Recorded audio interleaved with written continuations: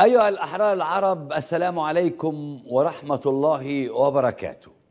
أيها الأحرار العرب في مصر في تونس في ليبيا في السعودية في كل بقاع العالم العربي دولة الأخ الكبير في كل بقاع العالم العربي. هو ميكروفون واحد رأي واحد دماغ واحدة منشط واحد. حتى لو الدماغ دي هتلبسك في الحيط. أما بقى مصطلحات زي الرأي التاني الرأي المختلف الإعلام الحر المعارضة صوت الشعب كل الحاجات دي بيتعامل معاها الزعماء العرب خاصة السيسي. شبه تعامل محمد صبحي في المسرحية الرائعة تخاريف. ستساءل أمام الشعب بلا. إياك أن تخشى شيئا أبدا. هل أنت من المؤيدين لي؟ ولحكمي وحكومتي. تأييدا مطلقا. واخد بالك أنا أم أنك لا قدر الله من المعارضين ولا تنسى أنت في قلبي. الدكتاتور اللي يطلب تأييد الناس. شكرا لسيد المعارض المشهد ده للمبدع لينين الرملي. المشهد ده بيعبر عن واقع العالم العربي خلال العقود الطويلة اللي عدت مش بس المصريين. ما كانش مجرد مشاهد تمثيلية. لحد ما حصل الانقلاب في مصر 2013 واتولدت فكرة القنوات المعارضة قناة مكملين وقناة الشرق قناة مصر الآن وغيرها من القنوات الحرة. الناس شافوا فيها طاقة نور وباب أمل لكشف الحقيقة اللي غايبة عنهم واللي بيخفيها النظام وأزرعه الإعلامية. عشان كده باستمرار قناة مكملين تحديدا. عاملة أزمة لسلطة مرتعشة موتورة. متخيلة إن فشلها بس سببه اللي إحنا بنكشفه ونقوله. مش بسبب اللي هم بيعملوه في الناس. أحدث محطة للقصة دي هو بيان الداخلية اللي إعلام السامسونج اشتغل عليه ضد قناة مكملين. وقالوا إنها قناة أو إعلام بيحرق أغصان الزيتون. آه سوري قصدي بيشوهوا الصورة الجميلة. نشوف كده الأخبار. الداخلية قنوات الإخوان الإرهابية تروج معلومات مغلوطة مغلوطة عن أوضاع السجون في مصر. مصدر أمني إدعاءات الإخوان بشأن الأوضاع في السجون تتنافى مع تقرير حقوق الإنسان. ده أنتوا كدابين أصلا. ليه بقى كدابين؟ لأن إحنا مالناش علاقة بالإخوان. أصلا. بص هتلاقي الحرص على كلمة قنوات الإخوان إعلام الإخوان بينما الإخوان أصلا فصيلين فيهم فصيل ملوش علاقة بقناته وإحنا أصلا مالناش علاقة بالإخوان. بص ابواق إعلامية موالية للإخوان روجت جماعة الإخوان تروج. هي فين جماعة الإخوان؟ بس إحنا نحب نقول الداخلية كويس إنكم أنتم متابعين القناة.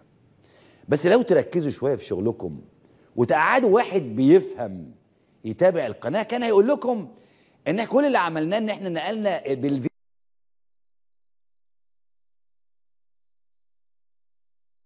المشكلة فين؟ بدل ما تطلقوا علينا قنوات الإخوان وتطلعوا علينا كلابكم السعرانة لجانكم أو مواقعكم الاخباريه تطلع تنهش فينا. مكملين ما بتقولش حاجة من عندها. أم مصطفى ديشة الشاب اللي مات في اسم ثالث منتزه الإسكندرية هي اللي كانت بتقول عايزة حق ابني وهي اللي بتقول إحنا مش إخوان. فبلاش لعبة الإخوان دي. افتكر كده الفيديو ده؟ الرئيس أنا بناشد حضرتك. أنا أنا واحدة بايد حضرتك وبايد الشرطة وبايد الشعب وبايد الحكومة.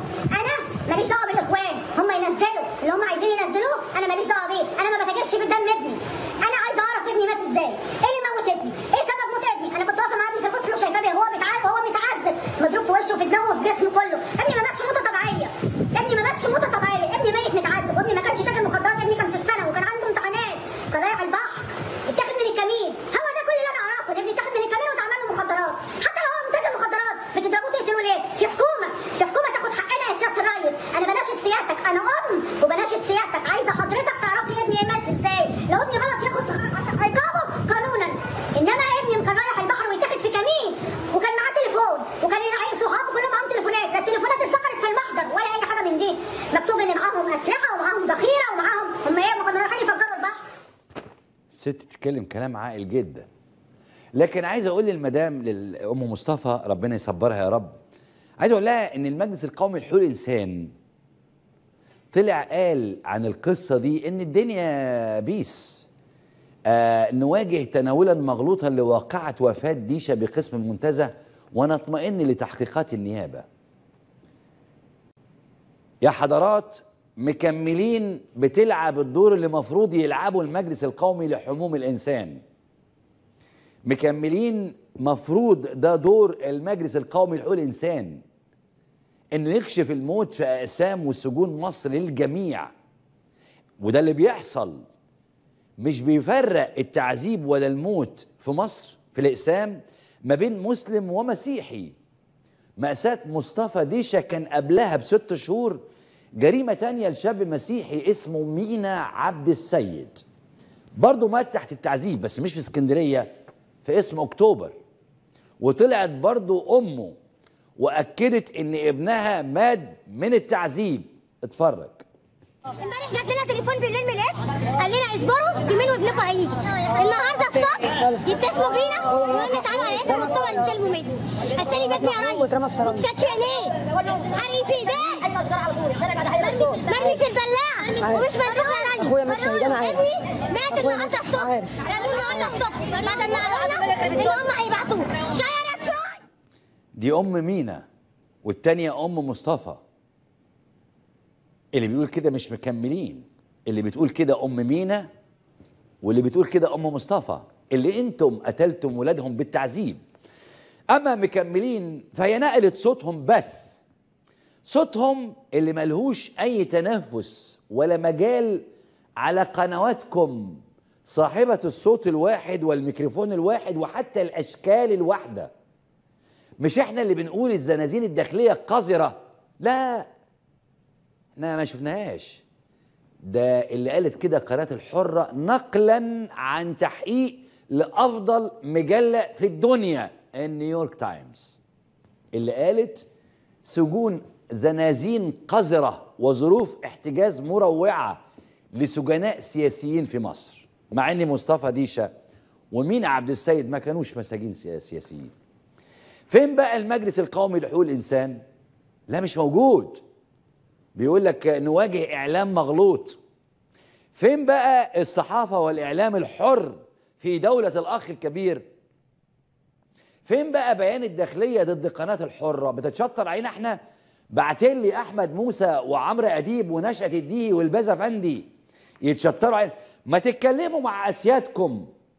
ما تتكلموا ضد قناة الحرة اللي كان شغال فيها إبراهيم عيسى. ما تتكلموا ضد نيويورك نيويورك تايمز. وبالمرة بقى مش إحنا اللي بنقول إن اللي بيحصل في السجون متعمد ومفيش انفراجة؟ زي ما بيقول حقوقي كده محمد زارع الباحث في مركز القاهرة للدراسات هو اللي بيقول أهو هات ما يحدث في مصر من في السجون من إهمال طبي وتعذيب وسوء معاملة شيء متعمد.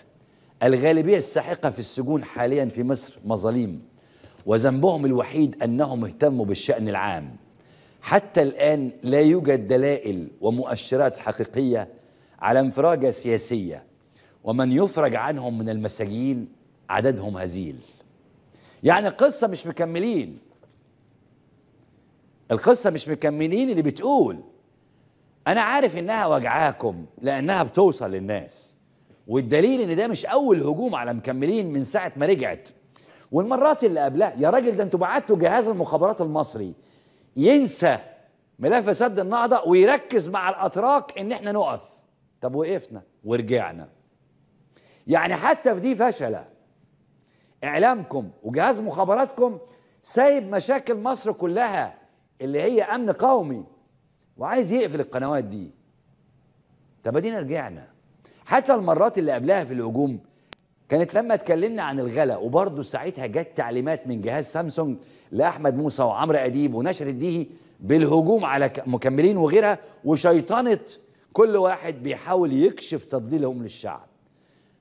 بص اتفرج على الميكس ده. إيه الفكرة؟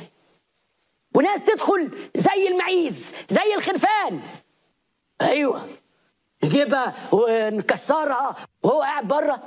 آه الحلويات بقى. الشربطات خد. لا دي مش معارضة اللي بتتكلم دول معادية قنوات معادية فندم ده معارضة. معارضة. ما تسيبش ودانك لحد.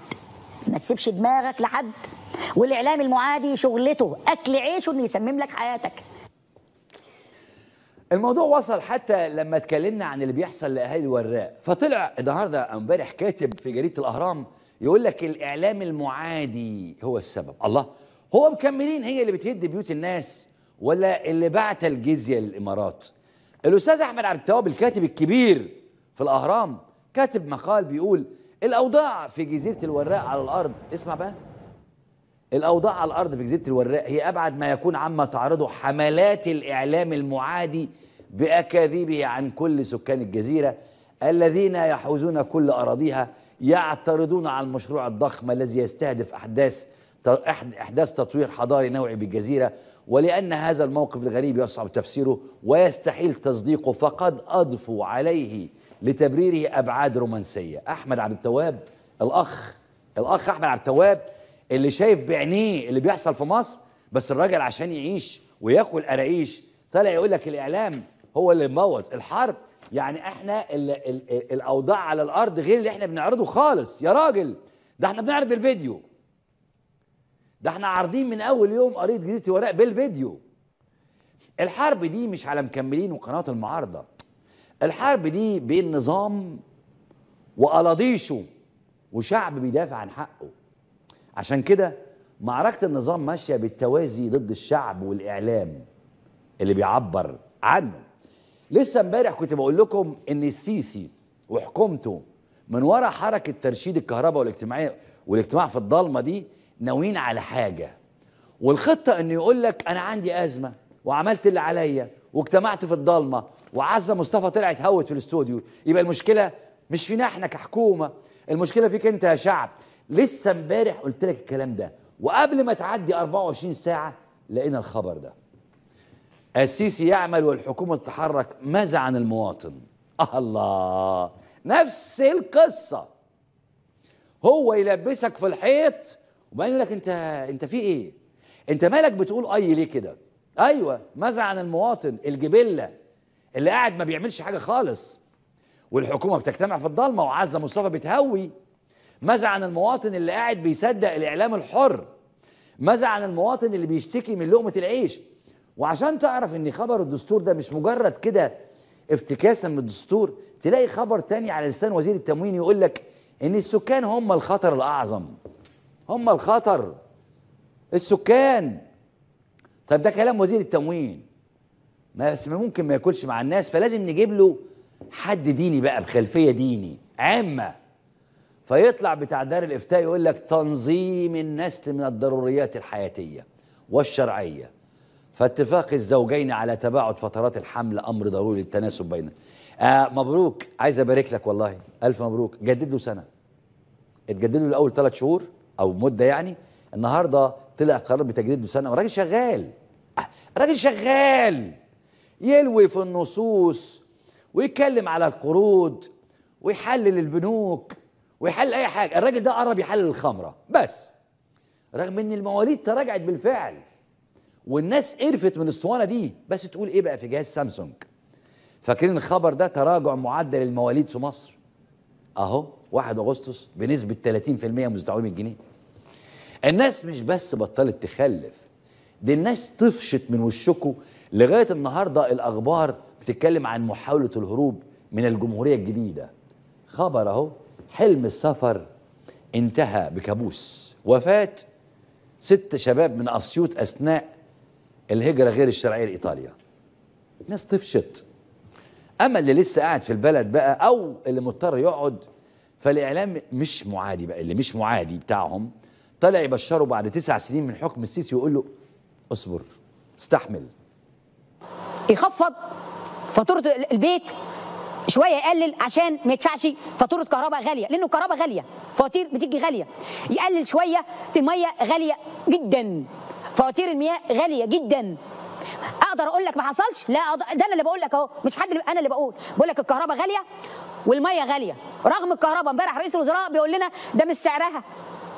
ده مش السعر بتاعها. وسفير نادر سعد كان معانا امبارح قال لك كمان مش سعرها. هي مرحلة صعبة. كل حد يتحمل شوية. كل حد يتحمل شوية. الناس طبعا والناس تحملنا وبنتحمل ومن 2016 بنتحمل وكنا عايزين نبص. ما هي كله كان كله كله كله. كله بيدفع ده اللي. كان بيبشركم في 2016 و2017 و2018 و2019 بأنه خلاص عارف الذهب والياقوت والمرجان ده اللي قال الكلام ده هتلاقوا ذهب ياقوت مرجان جاي لكم. هو نفسه.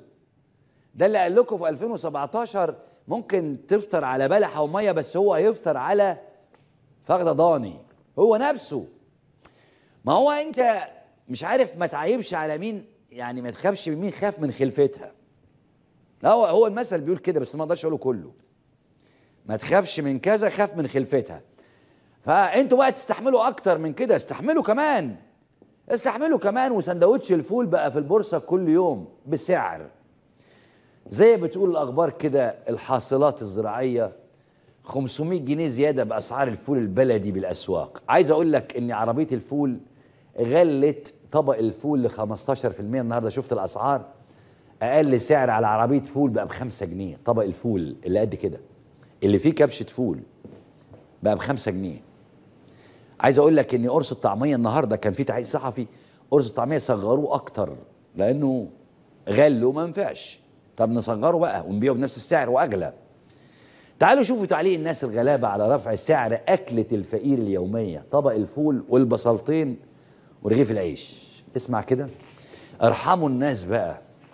هو كان ب 2 جنيه؟ ده للوقفة والفرجة بس طبعا. ارحموا الناس بقى كل ده حاجة بقت صعبة حتى لقمة الغلابة. منه لله ياسر جلال هيشحتنا والله. والله يا محمد انت ذكي. ما سبتوش حاجة للناس للناس الغلابة. حسبي الله ونعم الوكيل. والله 2 جنيه كانت بروح آكل في مطعم فول وطعمية وعيش وسلطة وليمون. كمان في أشهر مطعم مطعم حجازي. من شهر يوليو الأسعار ارتفعت صح النوم. كل ده ويقول لك الحكومة واقفة مع المواطن البسيط. هو الفول والطعمية دول مين اللي عايش عليهم ومين اللي هيتأثر برفع سعرهم؟ مش معقول طبعا الناس الأغنياء اللي في العالمين والساحل الشمالي اللي بيشتروا المية بس ب 250 جنيه. يا باشا الناس هتاكل عيش حاف بس اوعك تزود العيش كمان. يا باشا الشقة الواحدة كانت بأربعة الشقة يعني نص رغيف يعني يعني الساندوتش كان بأربعة جنيه والرغيف كامل كان ب 6 جنيه صباح الفل. يعني الواحد كان بيفطر فول بس ب 30 جنيه ومش بيشبع كمان. دي تعليقات الناس. فين بقى الإعلام اللي مش معادي من الكلام ده؟ ما يقدرش يقوله. ما يقدرش يقول إن قرص الطعمية صغر أكتر. ما يقدرش يقول إن طبق الفول بقى ب 5 جنيه. بس طبق لوحده. ما يقدرش يقول. لأنه الدنيا ربيع والجو بديع لي على كل المواضيع. فين بقى مراكز الأبحاث اللي بتدرس كويس قوي؟ بجد والله. ما هو تأثير الفقر ده على صحة ولادنا؟ عارف يعني إيه ابنك بياكل أكلة معينة أو رابش زبالة الأكل؟ عارف ده هيأثر فيه على المدى البعيد قد إيه؟ فين ده؟ الإعلام اللي مش معادي كل حلوله اللي بيرددها من ساعة ما السيسي جه اصبروا. جت 2014 اصبروا. جت 2015 اصبروا. جت 16 استحملوا. جت 17 اصبروا. جت 18 إيه شوية. جت 19 إيش؟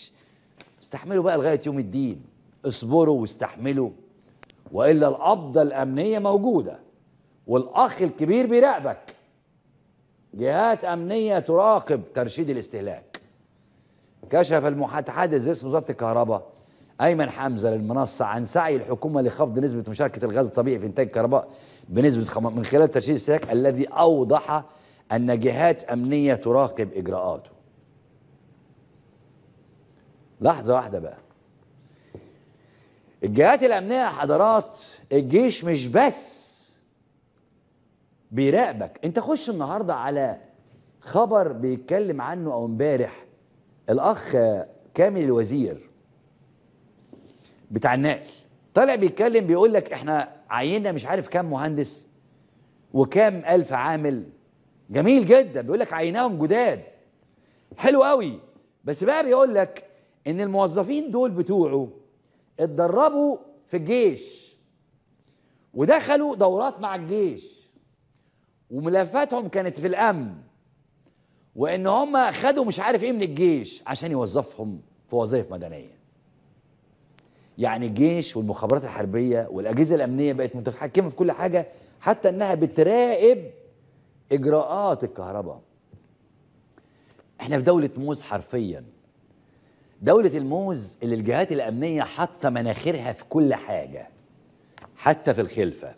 دولة الموز بس فيها اللي الناس تموت من السجن من التعذيب وتطلع الداخلية بدل ما تحاسب المسؤول تقول لك الإعلام المعادي بيشوه الصورة الجميلة.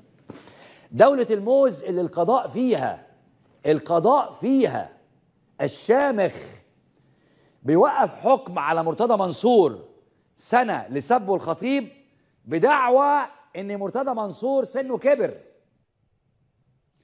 الخطيب أخذ حكمين على مرتضى منصور. الحكم الأول بحبسه سنة لكن مع إيقاف التنفيذ. ليه يا سيادة القاضي؟ لأن الراجل كبر في السن ودخل في السبعين ومش هيعملها تاني. ده الحكم الأولاني. لو جبته لي يا علي يبقى كتر خيرك وسريعا لأن أنا طلبته من بدري.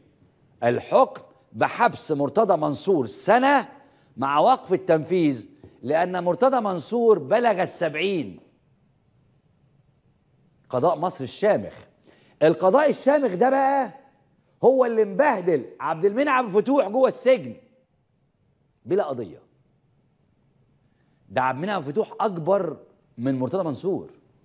بس هو بمزاجنا بقى بمزاجنا نعذب مرتضى من... نعذب عبد المنعم فتوح وفي نفس الوقت نوقف حكم ثابت بفيديو لمرتضى منصور بدعوى ان سنه كبر. هات الخبر يا علي لو سمحت خبر مرتضى منصور وحكمه سنة وأنا الحقيقة الخبر ده موجود النهارده في كل في الشروق في صدى البلد في كل حتة. سنة تم إيقافها لكبر سن مرتضى منصور. لكن عبد المنعم فتوح الحقيقة الراجل ولا حاجة يعني. مرمي ومش عايزين يعالجوه ومبهدلينه لأنه في الآخر ضد النظام بس مرتضى بتاع النظام. دول الموز هي القرارات فيها الاقتصادية بتتاخد بمنتهى التخبط والاستدانة على البحري. واللي يحذر من الكارثة يتمنع من الكتابة. دول الموز اللي النظام فيها بيحاول يحل كل مشاكل الحقوقية والاقتصادية بشماعة الإعلام المعادي. دول الموز اللي النظام فيها خلى الشعب هم المشكلة مش الحل. وبعد كل ده يجي مدبولي يقول لك للمواطنين الغلبة تقشفوا واربطوا الحزام. هو عايش هو والوزراء بتوعه عيشة ملوك. مش أنا اللي بقول الكلام ده ده أنور الهواري اللي قايله. أنور الهواري رد على وزير رئيس الوزراء قال له بالظبط كده. موافق دعوة رئيس الوزراء آه للمواطنين آه على التقشف أن يتقشفوا في استخدام الكهرباء. فالتقشف في كل الأحوال نضج ورشد ومسؤولية. لكن سيادته وحكومته معه أكثر من يمارس البذخ والإسراف بما يفوق ما عرفته العصور الخديوية من تبذير بلا حساب بلا حساب ماشي؟ ولا مساءلة ولا تدبر العواقب. أدعو السيد رئيس الوزراء لينظر من شرفة مكتبه الأسطوري الفخيم الفاخر الذي لم يتنعم بمثله رئيس وزراء من قبله منذ عرفت مصر الوزارة الحديثة 1878 أدعوه أن ينظر حتى يرى ناطحات السحاب في العالمين الجديدة مضاءة بالكهرباء 24 ساعة. ثم أذكره وأذكر حكومته وأذكر الحكومة أن ثورة 23 يوليو 52 كانت قد ألغت انتقال الحكومة إلى العاصمة الصيفية وكانت الإسكندرية على أساس أن ذلك كان بذخا وهدرا للمال العام دون مبرر إلا متعة الملك والوزراء وكبار الموظفين ولم تكن ابدا على مثل ما هي مت ما هي متعة حكام هذه الحقبة الراهنه التي فاقت أساطير ألف ليلة وليلة.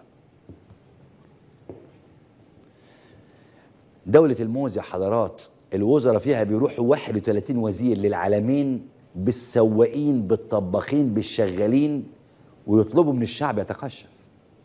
دولة الموز هي اللي يتصور فيها الحكومة وهم قال لي قاعدين في الضلمة.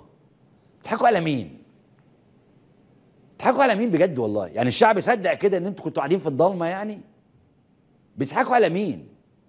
خلاص الشعب كبر. دولة الموز اللي ما فيهاش لا إعلام ولا تعليم ولا قضاء. وأديني قلت لك أهو بالمستندات إيقاف حبس مرتضى منصور في قضية صب الخطيب لكبر سن. الورق موجود وحيثيات حكم القضية دي موجود. ولو دورت لك هجيبه لك. قال لك المحكمة قالت إنه الراجل دخل في السبعين ومش هيعملها تاني. وبالتالي أهو أكدت المحكمة في حيثيات حكمها أنها ترى من كبر سن المتهم وكونه قد جاوز السبعين عاما من عمره ومن الظروف التي ارتكبت فيها الجريمة ما يبعث على اعتقاد أنه لن يعود إلى مخالفة القانون مستقبلا. فإنها تأمر بإيقاف عقوبة الحبس المقضي بها لمدة ثلاث سنين. عبد المنعم فتوح سنه أكبر من مرتضى منصور. أنا مش بجيب لك بقى قيادات الإخوان اللي في المعتقل خالص. أنا بكلمك على مرشح رئاسي كل جريمته إنه راح عمل حوار بره ورجع وبينكل بيه داخل السجن لحد النهارده بينكل بيه حرفيا بلا قضية. المحكمة الطيبة الحنينة مع مرتضى. لكبر سنه. لكنها مع عبد فتوح ما بتراعيش أي حاجة. لا كبر سن ولا مكانة اجتماعية ولا حاجة المحكمة الطرية الحنينة بتدافع عن سفيه سافل شتم مصر كلها. بس ما بتدافعش الحقيقة عن واحد زي عبد فتوح. كان عنده شعبية وكان له جمهور. الخلاصة يا حضرات الحرب اللي شغالة من الداخلية ومن القضاء ومدينة الإنتاج الإعلامي مش هدفها مكملين. هدفها هو أنت. هدفها كتم الصوت الوحيد اللي قادر يوصل مطالب الناس في العيشة الكريمة الحرة ويسمع للسيسي كلام أو يسمع السيسي كلام الناس الحقيقية اللي هو مش عايز يسمعه. دي حرب مسمومة محسوبة وخلصانة من غير ما تنتظر النتيجة. اللي أكيد هتكون لصالح الناس.